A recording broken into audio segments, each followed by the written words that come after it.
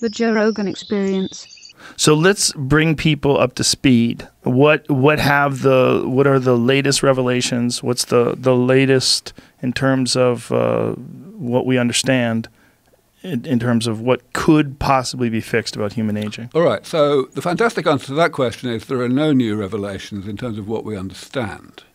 Our understanding seems to have been pretty much complete already, like 20 years ago.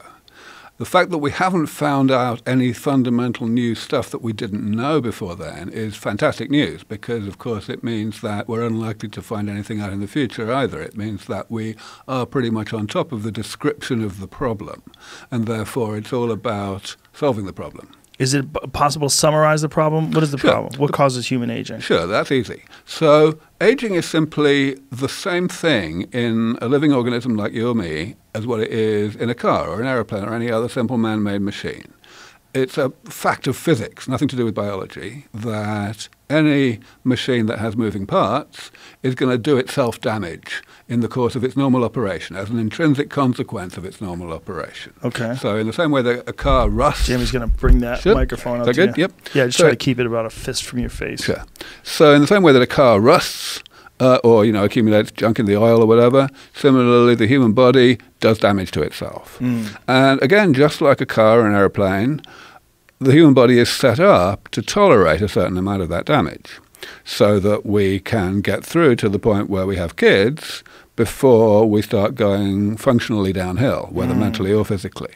But after that, evolution doesn't care about us anymore, and therefore we are only equipped to tolerate that much. And eventually, the damage that's being done accumulates to a point beyond what the body's set up to tolerate, and that's when things start to go wrong and we So- start to function less well. What is the difference physically between a younger person and an older person in terms of their ability to recover from the damage of just regular everyday life and exercise and abuse and running around? Yeah, all that. So that's just one aspect of the difference between a younger person and an older person. So let me answer that question by stepping back one step. Okay. So the difference ultimately arises from what the body is made of at the molecular level and cellular level.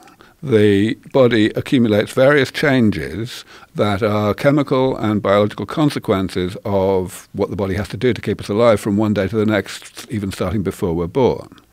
And those changes, the reason I'm using the word damage to to describe those changes is because eventually things don't work so well. So you're quite right that recovery from injury is one thing that doesn't work so well, but so are plenty of other things, whether it's how fast you can run, how, how, how fast you can think, you know, how strongly you can grip something, uh, how fast you can walk, um, you know, all of these things become progressively less good. But the point is that the amount by which they become less good is pretty negligible until the age of 40 or 50. It's only then that the decline starts to accelerate.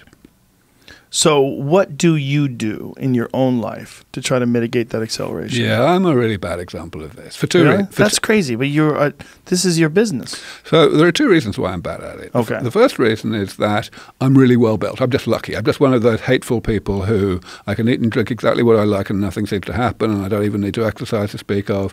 And, you know, I'm far, biologically far younger than I actually am chronologically. How old are you chronologically? Chronologically, I'm 57. How Um, old do you think you are biologically? Well, I'm told that I'm a, a good decade less than that. Mm. And this is what I get told every time I do these tests, which I've been doing for the past, let me see, 18 years. Um, yeah, so that's pretty good news. Um, so you're lucky. yeah, that's genetically. Lucky. Yeah, but the other thing is, you know, I'm working hard to hasten the defeat of aging, and um, maybe it's a net win. You know, maybe the amount that I'm hastening it is more than the damage I'm doing myself by, for example, not getting enough sleep. And you still drink booze? I still drink. How often? Oh, I drink probably more than the average American. What does that mean? a few beers a day. A And few maybe- beers a day. And maybe a What's a whiskey or two. Yeah, three, or four. Three or four? Yeah. Three or four beers every day. Yeah, most days. And a whiskey or two every day as well? yeah, most days. So six days a week or six drinks a day? Yeah, most days. Wow. You want to drink right now? Only if you have one. Uh, we have, do we have any beer? Do we have any Heinekens or we have the fake Heinekens? we have I drink, whiskey. I only drink actual beer, not Heineken. oh, you son of a bitch. what is an actual beer? Well, you know, IPAs, things like that. Things that Oh. taste like beer. Heineken doesn't taste like beer? Of course not. I don't know. I mean, We Malibu. had some weed infused beer for a while, but I think. it Oh, that that'll bad. fuck this dude up. he'll, he'll lose all of his gains in biological Ac- Actually, aging. no, I've never smoked pot. I, I mean, Never? I, I've, I've, I've experimented with it when I was younger, but it never did anything to me at all.